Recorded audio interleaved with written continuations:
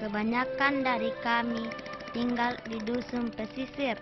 Sehabis sekolah, kami menghabiskan waktu bermain.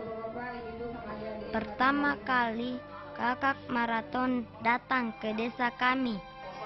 Mereka bertemu dengan orang tua kami yang menyampaikan keinginannya agar kami juga bisa mendapat kesempatan yang sama dengan anak-anak di tempat lain.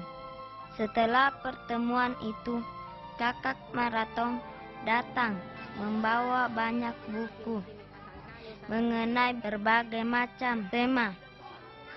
Kami bisa membaca dan meminjam buku-buku itu untuk dibawa pulang dari rumah tetangga kami yang dijadikan tempat perpustakaan dan kegiatan belajar.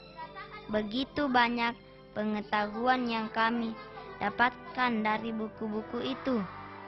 Sekarang kami semakin memiliki banyak teman. Rumah perpustakaan kami menjadi bertambah sempit.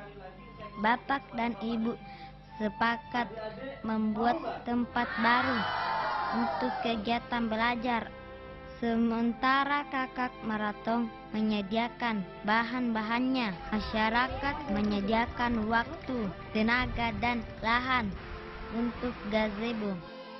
Dua kali seminggu kami bisa bermain dan belajar bersama. Saya senang belajar di gazebo karena saya diajar oleh kader-kader. Saya dia, diajar tentang laut, tentang binatang, tentang tumbuhan dan lain-lain.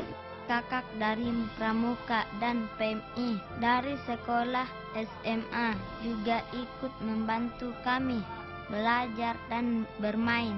Semua teman kami menerima papan tulis untuk membantu kami belajar dari organisasi WWW United. Saya berterima kasih kepada ibu dan bapak guru yang telah mengajari kami berbagai macam hal.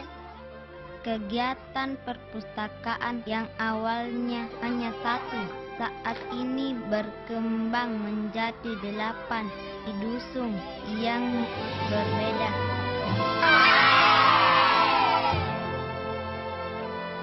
Kami juga belajar membuat film ini.